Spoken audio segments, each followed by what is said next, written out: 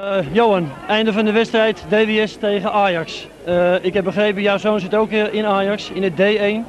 Dit waren de E1'en. Wat vond je van de wedstrijd? Dat is leuk om te zien. En daar gaat het uiteindelijk om. Hè?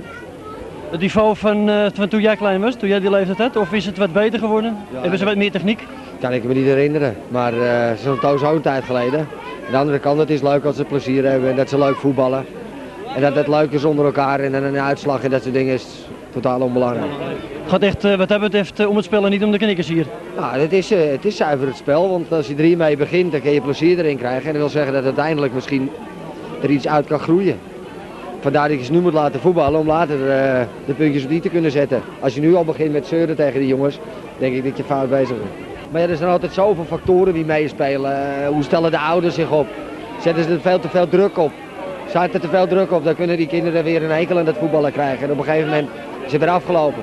Ik denk op deze leeftijd moet je ze laten voetballen. Je kan hoger zetten, uh, probeer eens rechts te spelen, probeer eens links te spelen, dat soort details. Maar voor de rest uh, winnen of schopsen of weet ik van wat, dat moet je allemaal vergeten. Nee, want er wordt nog wel eens uh, meer aan de lijn. Eigenlijk fanatieker gedaan dan soms op het veld, hè? Er is al een paar keer over gesproken, zover ik begrepen heb. Maar het is natuurlijk belangrijk, vooral met die ouders aan de kant, dat die een beetje sportiviteit bijbrengen, slaat het toch op die kinderen ook over. Vandaar dat ik altijd zeg, dat winnen. Als je sterk bent, win je toch, over het algemeen.